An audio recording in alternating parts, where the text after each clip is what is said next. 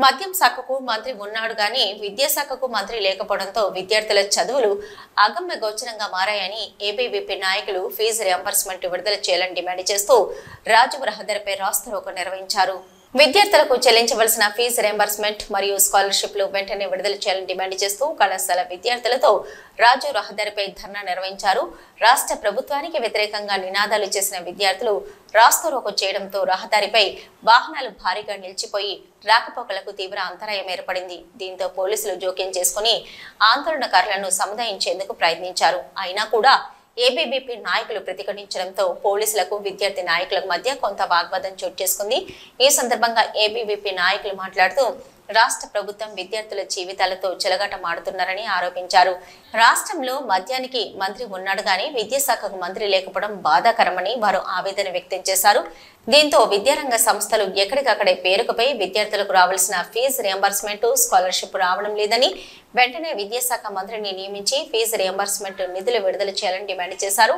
లేని పక్షంలో తమ ఆందోళనను ఉధృతం చేస్తామని హెచ్చరించారు.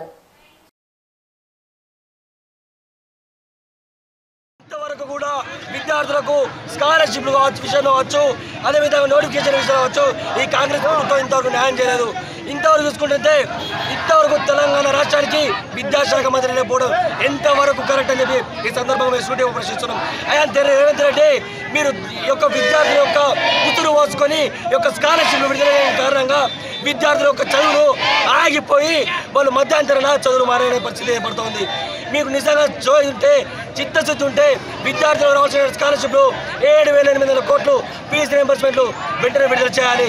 లేని పక్షంలో ఈ యొక్క సెక్రటరీ ముట్టడిస్తాం ఉద్దేశం ఏంటంటే తెలంగాణ రాష్ట్రంలో పెండింగ్లో ఉన్న ఏడు వేల ఐదు వందల కోట్ల పైగా బీసీ రింబర్స్మెంట్ విడుదల చేయాలని ఏబీపీ తరఫున డిమాండ్ చేయడం జరుగుతుంది.